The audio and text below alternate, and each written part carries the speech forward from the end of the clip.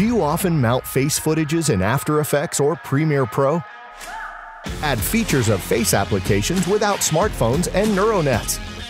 FaceTools is a package of presets that will expand considerably the options of standard face tracking from After Effects.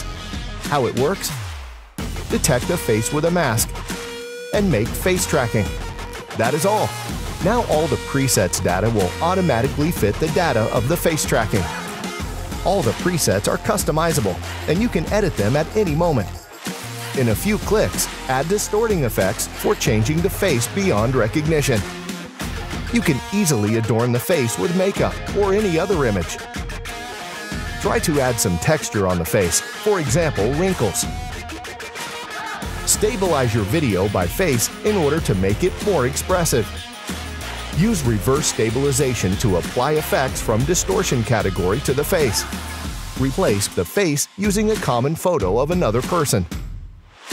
Brush out skin defects such as pimples and pigmented spots. Test Face Tools features right now. Face Tools is your face application for After Effects.